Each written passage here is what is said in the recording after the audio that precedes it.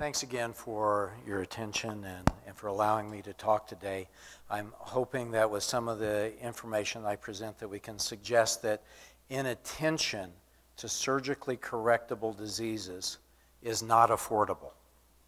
Uh, so I'm going to go ahead and, as often we do, we'll present uh, just one little case, but Laura arrived to Operation Restore Hope Cleft Camp in Cebu, Philippines in 2012. Uh, later, she wrote us uh, a letter thanking us, but this is one of the quotes from there. I wasn't able to proceed to college because of poverty. I did not find a job because of my condition, so I stayed home for good.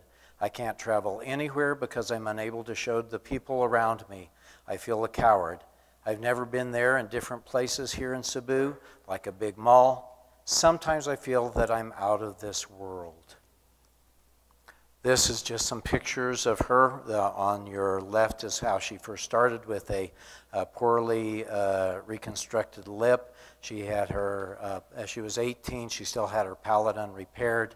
And uh, uh, cleft lip surgery is one of those darling things for surgeons because you have an immediate transformation of the aesthetic look of a, of a child or an adult. And in that regard, it, it's one of those things that's fairly easy to, to raise funds for. But uh, certainly, if we think about the communication issues that come with, with this disease, it's one of those things that I think that we should be able to uh, put a little bit of, of uh, figure to this, not just looking at the aesthetics being an otolaryngologist, going I'm going to sort of present a couple of things in relationship both to cleft as it relates to communication disorders, and also just a brief uh, look at uh, hearing loss. Uh, a study in the United States showed that even here in the United States, if there was any communication disorder, and that included just dysphonia, which would be hoarseness, uh, that you can have as high as a threefold increase in unemployment. Uh, many jobs, of course, are just completely unavailable if you have a hearing loss or inability to speak. And of course, is that even if you were able to get a job, you're going to decrease your earning power if you are not able to adequately communicate. So, we're going to look at cleft, and I'm going to look at the two areas of the world that I've in, been involved with uh, India and the Philippines. And what I'm going to do is take some population type data from CIA fact book. We're going to estimate the overall incidence of cleft lip and palate at about 1 in 750 live births. Now, this is sort of the US kind of figure, but if you think about it, we even know from English studies in England itself where the socioeconomic factors actually drive up the incidence of cleft lip palate. One of the concerns with that, though, is, is it just that if you can't communicate, are you more likely to be socioeconomically deprived? That certainly is an issue. But uh, using this number, we most probably are underestimating the number of children with uh, cleft lip and palate. Uh, another assumption that I'm going to make, which is again most probably inappropriate, I'm going to assume that, that there's going to be an equal distribution of care. Because otherwise, I can't tell you how many children are going to have their cleft lip or palate repaired. But what I'm going to do is look at the number of hospital beds per thousand people and compare it to the United States at 3.1 per thousand people and suggest that uh, if there's equal distribution of care, we would anticipate then a certain proportion of those children with cleft lip and palate would be repaired. Uh, the other thing I'm going to do is going to suggest that, again, as in the United States study, unemployment rate three times the national rate if you had a cleft lip or palate, and assume a 30% dedu- a reduction in earning power based on some data from the Philippines. Uh, in that regard, it, what we looked at is uh, if you look at the average for someone in the manufacturing uh, field, where that they wouldn't really have to do a whole lot of, uh, of oral communication, uh, versus a receptionist who would, we noted about a 30% reduction. Interestingly, this seems to, to hold across the board in a lot of different, even developed countries, if you have a communication issue. I do think that this is going to underestimate the financial impact. It doesn't at all account for the social impact. Remember that in many developing countries, if you have a facial deformity, it can be considered a curse. And with that, the family, the child, everyone is sort of uh, uh, restricted from normal society. So, again, if anything, I am anticipating this underestimates the impact. Now, again, uh, we'll start off in India. Uh, in India in, in, 2003, I started uh, with a, a faith based hospital in Calcutta, India. At that point in time, there were approximately 14 million people in, in Calcutta. Uh, there was no cleft or craniofacial team in that community. Uh, uh, we started off with cleft camps where we would come and do uh, some 20 to 30 patients per year. At that time, I was training two surgeons to do cleft work. We became the first Smile Train accredited hospital in Northeast India, and with that, now they're doing over 500 cleft cases per year at Mercy Hospital. So, you know, again, in my way of thinking, if we can educate and uh, develop uh, financial infrastructure, we can make a difference. But let's just look at the impact in India of uh, the cleft. We have about 1.2 billion people and growing in India, assuming one per 750 live births with a birth rate of 22.5 per thousand. That means that there's most probably over 40,000 new cleft kids per year. But that also means there's about uh, 1.8 million clefts in their population. If we assume, based off of the number of beds per thousand people and related to the United States, they have 0.9 hospital beds per thousand people versus the U.S. at 3.1. So that means that most probably less than one third of the children with clefts will end up having surgery in an ideal world, and we know it isn't that way. Uh, based on those beds, uh, uh, again, no more than 30% of the children will have been corrected. So, what is the impact in India? If 30% have been repaired, that would be about uh, 540,000. There remain 1.2 million plus peoples with cleft lip or palate that are unrepaired. The unemployment rate in India is about 9.8%. If we assume a threefold increase because of a communication disorder, or 29.4%, that's uh, 370 plus thousand people unemployed because of their cleft lip and palate. Again, this is an underestimate. Uh, in all of my travels to India, I rarely, rarely saw anyone in the marketplace or any place with an unrepaired cleft lip, and I know that they are out there. The average wage in India at the current time is $450 per year. So the impact, if we make those assumptions, the impact from un- unemployment is almost $167 million American per year.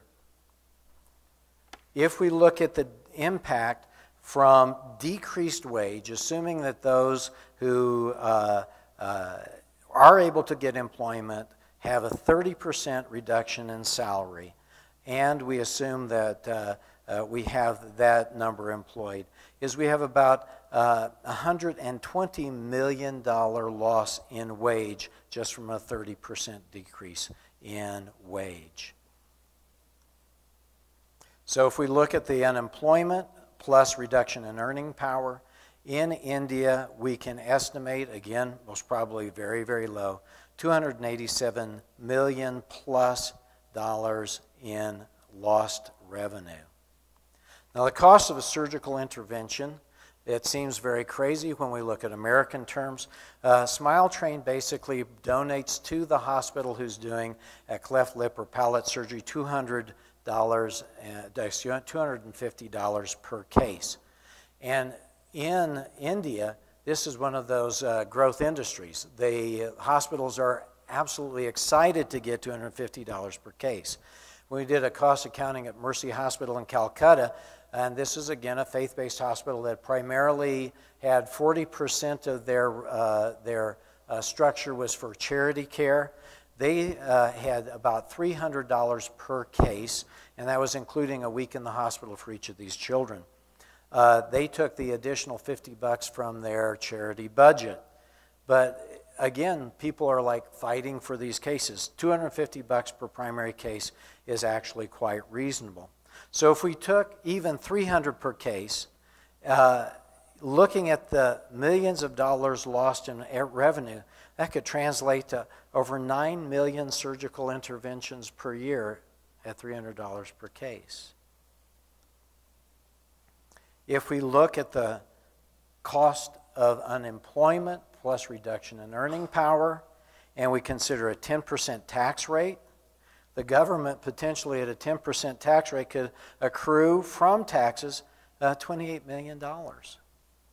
If that we used just looking at the new cleft cases per year at 300 bucks per case, we could take care of all of the new clefts every year in India just from the accrued uh, tax revenue. In the Philippines, I don't have quite the same amount of, of, of sure data, but they do have 88.5 million people. Uh, I have been told that their uh, rate of children being born with cleft is almost double that elsewhere, but again, I can't find good data to, uh, to make that assumption. So what we're going to do is still use a 1 in 750. They have a birth rate of uh, 25.4 per thousand, which would suggest at least 3,300 new clefts per year. That also means 132,000 clefts in the population. Now, in the Philippines, uh, it's a, quite a different place, and they have 0.5 hospital beds per thousand people. So that would mean that no more than 15% of their children, if we had truly an equitable, equitable distribution of uh, health care, uh, only 15% could have been repaired. Now, again, uh, this really will overestimate the number of children who may have been uh, affected by that. In my work in the Philippines, uh, we have uh, tried to end up doing some training but again, because of the uh, medical infrastructure there and the financial issues, it's been very difficult to get uh, plastic surgeons or otolaryngologists who are interested in being trained in this. Uh, the, uh, most of the physicians are located in major uh, cities, but even there, it's been difficult. Uh, so let's suggest that 15% have been repaired. That would be about 19,800 children. There remains about 112,000 persons with cleft lip and palate that are unrepaired.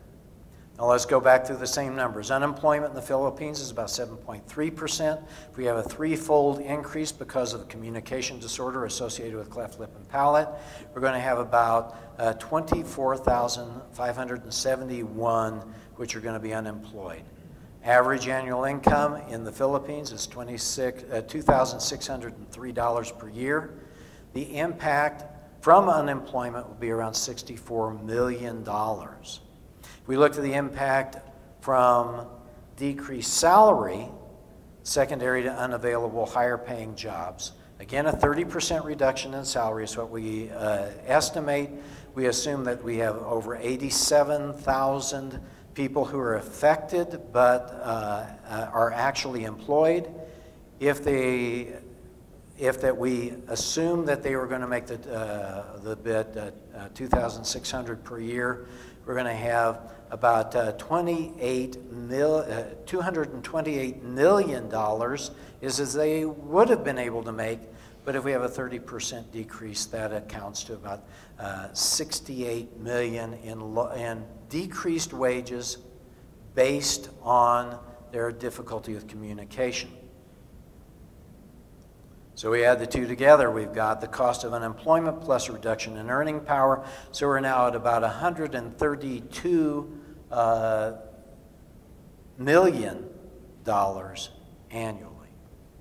A lot. Now the average tax rate in the Philippines for their medium rate wage is 20 percent. So that means that we have about a $26 million lost in revenue by the Philippine government because of the difficulties for communication in children with cleft lip and palate. Now, let's say that we, I don't have really good numbers, but let's say that, uh, that The same kind of numbers from India are the same in, in the Philippines, that it costs about 300 bucks per primary surgery. They give you about 88,000 surgeries could be done annually. Pretty impressive. That's just from the increase in tax revenue by allowing people to have good communication and therefore better paying jobs. Now, I love this little picture. It's not a kid with cleft lip and palate. There's a little beautiful girl in the Philippines. But it really speaks to what hearing loss does because you can't look at somebody and say, oh, you have a hearing loss. But remember, is if, if you were here today and you didn't have amplification and you had a hearing loss, much of what I was saying and everybody else is saying you'd be missing. That absolutely impacts your ability to be a productive member financially in society. Now, we're going to look a little bit of the data from Kenya, uh, just one of the many uh, uh, co- countries in Africa which has been uh, looked at. Uh, population of uh, 43 million, growth rate at 2.4%, whereas the United States at 0.9%. World Health Organization data suggests that the incidence of significant hearing loss in Kenya is 2.2 per thousand. Now, right next to that, look at the developing, uh, the developed countries, so U.S., Western Europe, etc. 0.05 to 0.23 per thousand there. That implies that the incidence of hearing loss in Kenya is 9.6 to 44 times greater than the incidence that we would see in the United States, for example. We have no data to suggest there's a higher incidence of inherited deafness. So we would have in Kenya approximately 94,000 people with significant hearing loss. Now, if we assume that most of the congenital sensory neural hearing loss would be about the same, what we're looking at are what are the other causes of hearing loss that may end up being uh, able to be addressed surgically. Uh, we, of course, have in that area, it's uh, called the meningitis belt, and there's a very high incidence of meningitis that usually causes sensory neurohearing loss. Uh, but let's think about chronic otitis media with perforation, infection with drainage, all of whom can be surgically correctable, and improvement in hearing, as well as trauma. Now, so again, many of these additional cases could be surgically correctable. In the United States, a survey suggested that there's approximately a $12,000 per year drop in earnings if there's a hearing loss in the, the household, mom or dad. Average wage in the United States at 41,000 per year suggests again about a 30% drop in earnings potential if you have a significant hearing loss. It's been estimated in the United States that over uh, $100 billion per year loss in wages is due to hearing impairment. Interestingly, if this, the person has a hearing loss, has a hearing aid, and wears the hearing aid, there's a 50% mitigation in that loss. Now, let's make some assumptions again. So if we're going to assume that 50% of the non-congenital hearing loss in the United States is from chronic otitis media, and let's take the highest number that they had there in terms of the developing countries uh, at 0.23 per thousand. Uh, let's say that all of those were inherited. We have the same rate, again, that's over assumption. Let's say we have the same rate in, the, uh, in developing countries and in Kenya. And what we find is, is that maybe as high as 9,895 of those patients with hearing loss uh, would have an inherited disease. But then that means that we have, from infectious disease, trauma, or other kinds of things, about 84,000 people. Well, let's even give things. Let's say that only 50% of those could be surgically correctable. That means at least 42,000 people there may have surgically correctable hearing loss. The survey in Africa suggested that uh, use of hearing aids in the developing world is le- far less than 1%. So we're going to assume no mitigation in wage loss. In Kenya, average income about $400 per year. So if there's a 30% reduction it leaves the annual income for those patients or people at $280. The loss of wage, $120 per person. Uh, so that ends up, even in Kenya, being at about $11 million total loss for the hearing impaired population. And if we could suggest that half of those people could be surgically correctable, then we're talking about another uh, $5 million increased in income just from that. So there's, only, there's less than one otolaryngologist per million people in all of Africa. That includes South Africa, where they actually do have some medical subspecialists.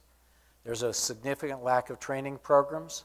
There's a significant lack of hospital infrastructure. So, in conclusion, the financial impact of surgical disease affecting communication is in the millions of dollars in developing countries. And only through the development of medical and financial infrastructure can we mitigate this. And finally, again, to what we started with inattention to surgically correctable causes of communication disorders is not affordable. Thank you.